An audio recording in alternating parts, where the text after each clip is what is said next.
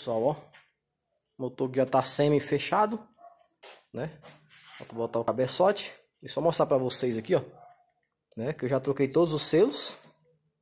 Troquei os selos do bloco aqui, ó. Aliás, todos não. Esse lado que já troquei. Vou trocar o outro lado.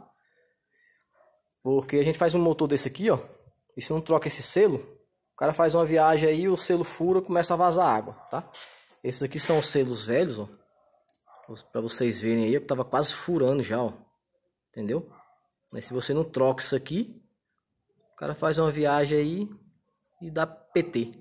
Né? Por fora é bonitinho, ó. Você não vê, ó. Quando você tira ele, ó.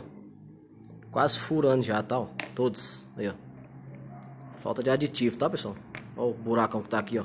Esse aqui já ia furar, ó. Ó, tanto de furo, tá vendo?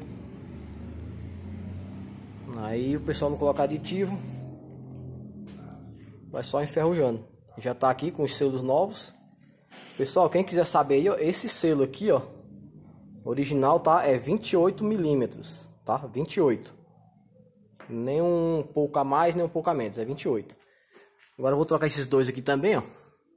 Esses aqui são de 25 milímetros, tá? 25. Para trocar ele tem que tirar a caixa de marcha fora, tá? Beleza, pessoal? É isso aí.